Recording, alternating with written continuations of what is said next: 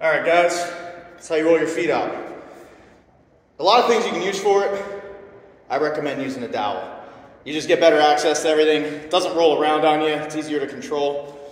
First thing, if you grab your dowel, make sure your shoes are off. Doesn't work with shoes on. Doesn't work as well with shoes on.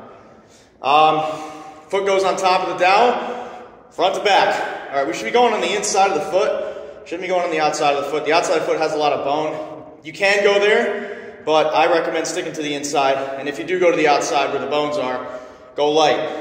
This should, you're looking for, uh, look for pain around a six or a seven looking for sixes and sevens. Anything less, you're not really doing anything for yourself.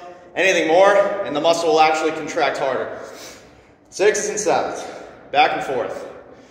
You can go onto the heel. Again, it's mostly bone. There's a little bit of fascia there, a little bit of tissue, but go light.